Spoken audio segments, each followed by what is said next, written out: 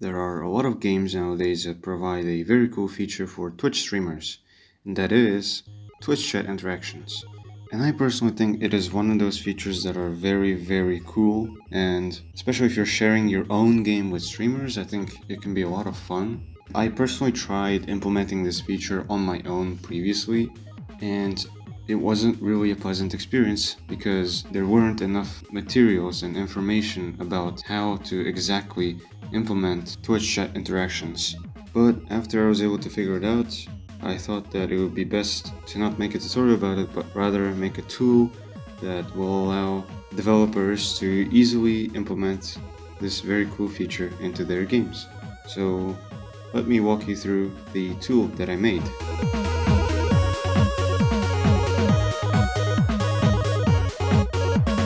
First of all, you're going to want to download and import the Unity package that will contain the tool once it has been downloaded, just drag it into your project and if done correctly, you should see a special window pop up on the top bar which will open the Twitch commands window for you. Now the second step is you have to register your game on Twitch and this is necessary for security reasons. Every single time you will connect to your Twitch chat, you're gonna have to pass in a special token because otherwise, without it, you will easily be able to get hacked, or at least your players who will be streaming your game on Twitch. In order to register your game on Twitch, you have to visit the link that I will leave in the description down below, so go ahead and visit that, and you will see all the necessary steps that are required over there. Now the third step is to get the client ID of your registered game from Twitch. Once you've got that, paste it in the client ID field of the settings tab inside of the Twitch window. Moving on, now you've pretty much set up the tool and you can start creating your own commands that you can call from your Twitch chat. As an example, let's first create a new class which will inherit from the Twitch MonoBehaviour class. Then let's create a method inside of it and call it move object. Let's give it arguments of x and y Let's also give it some logic. Let's also attach it to an object in our scene. Now let's add the Twitch command attribute on top of the method that we have created. You must specify the name of the command first. Optionally, you can provide other aliases for the command. So instead of using the name, you could also use one of the aliases that you provide in order to call the command. Another optional parameter is a default cooldown value, more on cooldown values afterwards.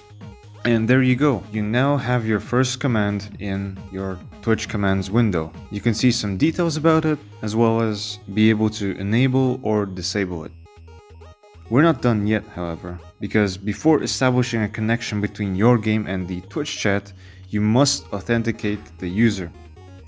In order to simplify things, I've created a demo scene with a little menu that has a form which will authenticate the user to be able to connect their chat with the game.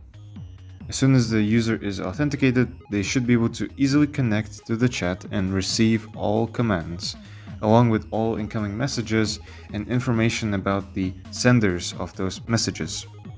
As you can see, we have our Twitch chat fully interacting with our game right now. Moreover, there are currently two modes for commands, limitless and cooldown based. When on limitless mode, commands do not have any limits as to how much they can be called and when they can be called.